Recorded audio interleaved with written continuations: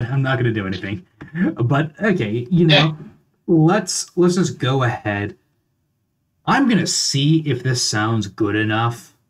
If it's not good Oh, enough, okay. I'm going to go to I'm to go Audacity and then re-record this. But Okay. you know, this is for the month of, I guess, March right now. I am talking Yep. again to Dr. Death, and this should be a rather shorter month of betas, but they are betas nonetheless. So I will let you start with the first one, Dr. Death. What do we have right now? Okay, well, we've got the Uber Poor 69, which I think we talked about a little bit last week, but I don't know if that actually made it into the show. And uh, that is a SIG P226 frame, which I absolutely love the P226. It's one of my favorite pistols. Um, and to my knowledge, this is the only P226 frame. Uh, it's held up in testing to so far 700 rounds, which is crazy for a, you know, especially for a printed frame that's still in beta. You know, it's a you know it's a more expensive kit to get a hold of, but you're also getting a thousand dollar gun for probably half price. I really like that one. Then we also have the uh, Kevin Nguyen, you know, good old Vin. He's got the uh, PPX 16, which is a printable pre uh, P-Run X16, one of those really neat bufferless uppers. You know, uh, they're they're a pretty fun one. You know, it's a once again another little bit more expensive kit, but you know, damn, it's cool and it's compact. You know, if you need a good truck gun, or if you're hiking, or if you just need anything that's a little bit more compact, uh, that's a great option. And then one of the really interesting things, and this is where we can get into more of a conversation, is the uh, Riptide Rails Riptide holsters. And those are printable holsters for the Glock 43, 43X, 26, 19, and 17. And they're completely printed, completely DIY. And what I like about that is that up until now, there hasn't been very many printable holsters. And considering the price of a good holster, I think that that's a uh, that's that's sort of an oversight by the community. No, I, I agree. Almost, it's definitely for like the more obscure, also gun types as well. That opens a lot of doors for like specifically the the weirder parts kits, like a Walther PPK. There aren't really many inside the waist holst- holsters, probably for that. I bet.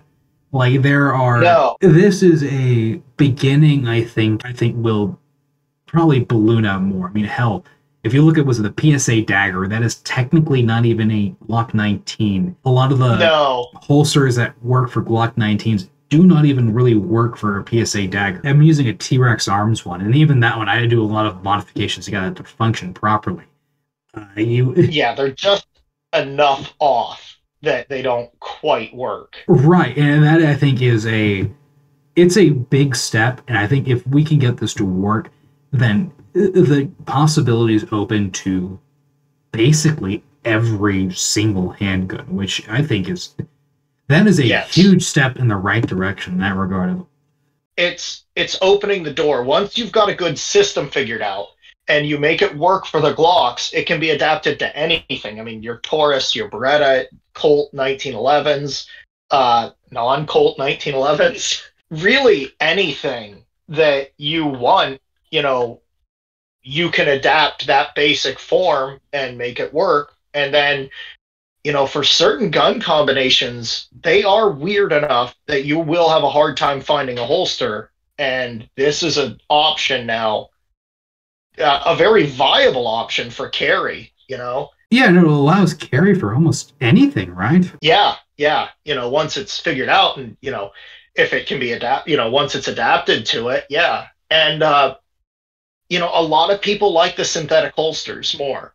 And this is going to let you uh, get one pretty darn cheap and you can customize it a little bit and make it yours and make it the way that you want it to be. I think that it's a great option. I think that it's a great idea because, you know, a handgun's only really useful if you can carry it. So if you have a lot of, you know, printed guns, that's great and all, but uh, you're going to want a good way to, to hold on to that too, you know. And uh, appendix, you know, like in the waistband, you know, without a holster, that gets a little bit, it gets a little uh, risky. this is probably going to be the next biggest step, or one probably one of the most useful innovations you'll see, even for people that aren't really like you know fully. I'm going to print every single gun I own type of guys. I think you'll have people that are just typical gun guys that will see this type of you know, technology being made and actually making their own holsters themselves because you know a holster is it really is just basically plastic in of itself yes and it's also a great way to get those people involved in 3d printing uh, and involved in printing 3d printed guns because if they are coming into it from a more traditional background in firearms they you know some people are nervous about 3d printed guns they don't know if they can trust them they don't know if uh, you know, oh well, what if it blows up? What if I do it wrong? Well, this is something that's not going to be pressure bearing. It's going to get you comfortable with your printer and with the idea of 3D printed firearms and firearms accessories. That's always why my usual go-to for a first printed gun project is usually waffle mag. So it's not something. it's not something that is too complex, but it's going to teach you how to calibrate your printer and at worst, at the worst possible situation, if your waffle mag doesn't work, what will end up happening is, is it's just not going to feed properly. Yeah. And that I think yeah. is much better than oh no, my frame exploded on me. That's just not going to happen with a waffle mag. Yeah. It's quite literally the worst thing that will happen with a, a, a very poorly printed waffle mag is either it won't fit inside the mag well or it just won't feed properly. I will say, so so far, I guess this month is rather short in everything we have. Is that about it? Well, we have the uh, Partisan 9 V2 beta, which has just opened up. And that's pretty darn interesting. That is uh, the next evolution in the Partisan 9, and this one gets rid of the buffer tube completely. On the last one, the folding stalker brace, depending on what uh, length barrel you made, uh, contained the buffer spring. This one, it's all self-contained in the receiver, and uh, this also uses Scorpion mags instead of Glock mags, which I know a lot of people were asking for. Yeah, but a Brazilian parrot is happy to hear that. He is thrilled to hear it. I saw him in the comments, and he was very excited. So okay, so it's a Partisan Nine. It has the nice yes. suppressor, everything too. I'm assuming as well. Uh, the the I guess it's basically yeah. the MP5 SD uh, suppressor where it has a bunch of uh, vent holes where it decreases the gas pressure, so it lowers yeah. the velocity. So you can have a subsonic. You can turn a supersonic nine millimeter round to a subsonic or nine millimeter round. Something very very interesting and very very cool. But that is, I mean, that now coupled with a fully bufferless design that is rather interesting it's way more compact that's the nice thing like it is the size of an mp5k like it is a small little package, and it's going to be great for uh, you know run and gun type events, and you know just having an absolute blast on the flat range. Oh yeah, that, that is. I think the Partisan Nine is by far one of the more interesting designs too. If it's a fully DIY design, and yeah, no, and if you want to, depending on where you are, maybe you might want to pull, print out the suppressor. You know, of course, if you're in America, you go ahead and out your tax stamp, of course. But if you are somewhere else, you know, who knows? Maybe maybe it's legal just to throw a suppressor. I'm not even gonna bother. Who who is gonna be the one to ask you, right? Oh, exactly. And one of the very interesting things also about the uh, Partisan 9 V2 is that there is a uh, another version of it, which is the Partisan 9 UMP 9, and that is a reskin of it and redesign to uh, internally it's the same as the V2 Partisan 9, but externally it looks like the uh, H&K UMP. So, you know, if you want a little bit different aesthetics, right there's an awesome option for you. And that has printed mags with it and everything. That is that is awesome. I always love the UMP. You know, the UMP is a cool looking gun. You got that HK cool factor. Now, is there anything else this month? Again, I understand this is a little bit of a shorter month, so I, there's not really too much you know, that is really it. If you want me to talk about an older design that we haven't uh, done yet, uh, you know, I was messing around today with uh, the Gerald Katz uh, 950 BS. It's a little 25 ACP pistol. I love that thing. It's super reliable. It's been tested, you know, to hell and back. Um, Cat's just released an updated file, you know, with just he he's perfecting it, I would say. And uh, you know, I already thought it was perfect. It slaps together, it works great, and uh, it's in the best caliber of all time, 25 ACP. Oh, but it's wonderful caliber too. Definitely good or, or carry caliber as well. But yeah, no, Yeah. that's of course nice to hear as well. You know, I- it, it's one of those. I, I think I've heard about. I remember this one too a little bit a while ago as well. I'm glad to hear that, that one's still, I guess, you know, still in beta as well, or at least it's still continuing. It's also on. a cheap kit. Yeah, it's also a pretty cheap kit. You can get them for like less than $75 usually. well, yeah, no, And uh, yeah, it's nice. it's a Beretta. Well, yeah, the the Italians do make some cool guns. I gotta agree there as well. But I, I like I like them. I will add, you know, if that is, you know, I guess at least the current betas that we have now, I might as well just throw in one as well. I think last time you threw in the fun uh, nine millimeter DIY uh, body or body armor piercing one. That, that was a cool one, but I'll add this Oh, one yeah. too in because I actually got to speak to the developer recently for this one. This was uh, I'm trying to remember the exact name, but I think it might be the RBC nine or something. But essentially, this one is, uh, but this one is a belt-fed nine millimeter belt, yeah, nine millimeter roller delayed action. Fully DIY PCC in that regard. It- it's a the developer is a interesting guy. I had to say that. Um, he's not affiliated with any group currently, from what I know but it is a design that is currently right now in beta. He released, I guess, the beta files on Odysee. It is again, like I said, is a nine millimeter roller delayed, belt fed PCC, and the documentation to it is probably one of the best I've ever seen, especially for a beta. It, it kind of rivals near the FGC nine. It's really good. I, I was looking it over. It is a really cool project, and it uh, his documentation made me envious. Like he he did an excellent job with it. Very clear, step by step.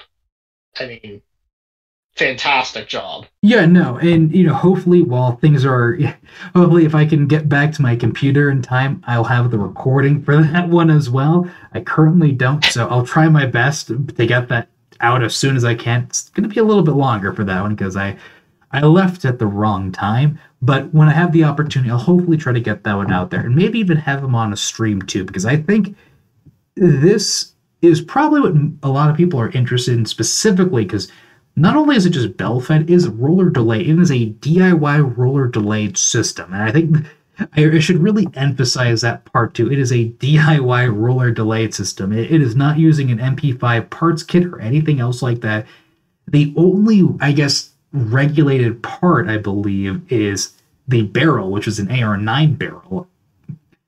You can Yeah, maybe make it. would would not be hard to uh, improvise. Of course, and that was actually a part of our conversation we spoke about was, you know, what is the possibilities for an ECM barrel as well.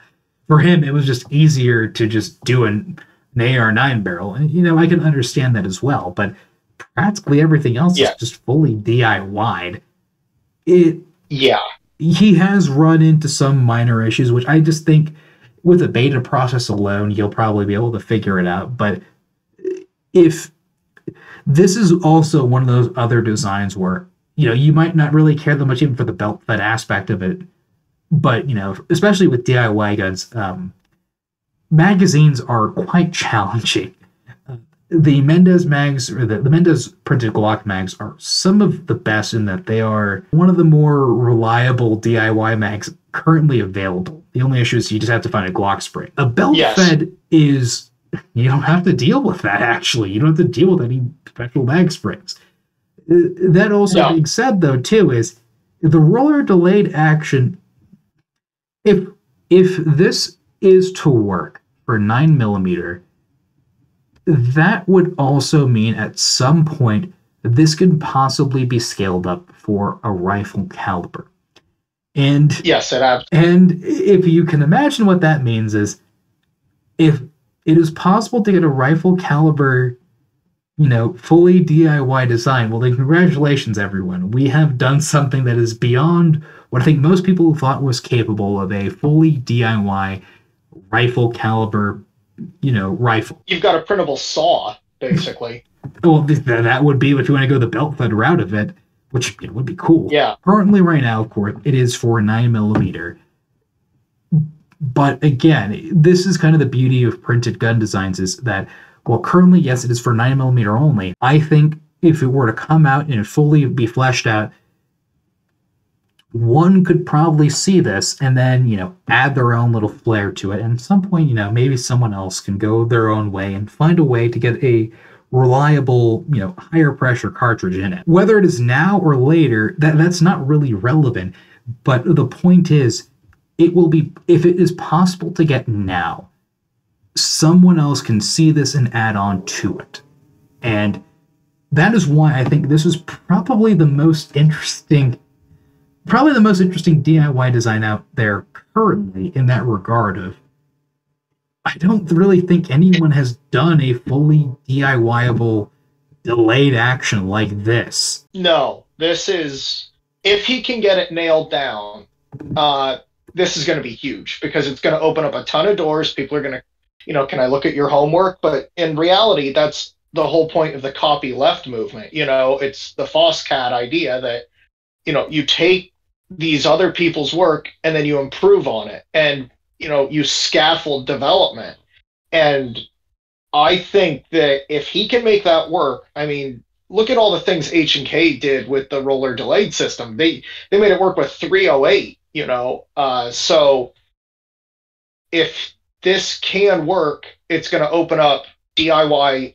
rifles and it's going to open up diy belt fed uh, semi-autos or full autos, depending on what part of the world and what licensing you have.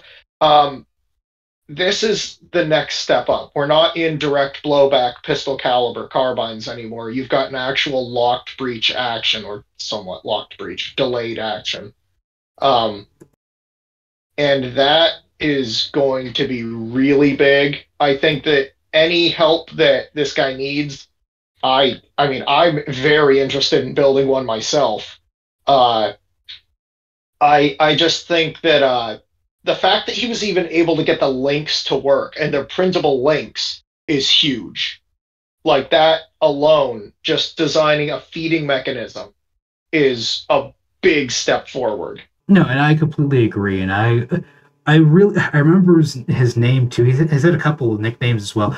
I'll be sure to post it up there as well with them too in the description as well. I uh, I'm embarrassed to do because I didn't get to speak to him as well. Again, it that was a conversation where you know we were going through a lot of it, and then I realized midway through, it's like I wanted to try to keep it within an hour.